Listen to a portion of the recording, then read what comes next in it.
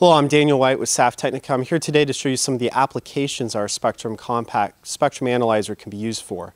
Uh, the first one here is to bench test a, a, a transmitter.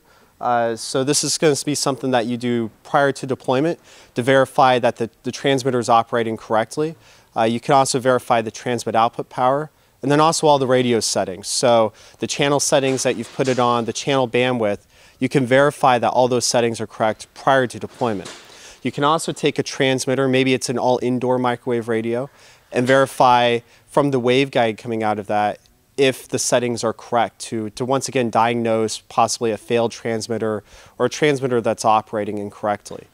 Uh, the next application we can use this for is we also have these great sniffer antennas, these granite antennas that allow us to do a, say, a site survey. So in countries with poor regulation where the, the licensed frequency bands might have interference, or possibly in the unlicensed frequency bands, uh, say 17 gigahertz or 24 gigahertz, uh, this product can be used to, for a site survey so you can have an idea of the interference prior to deployment.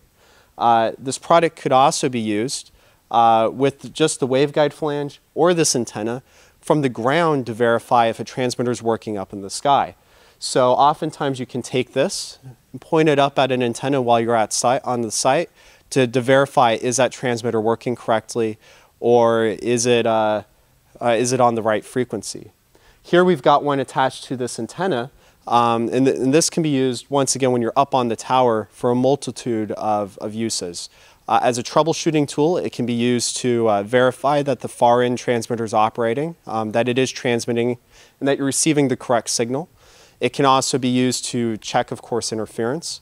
And uh, it can also be used beyond just uh, a multitude of troubleshooting uh, to detect things like multipath or interference. It can be used for antenna alignment as well.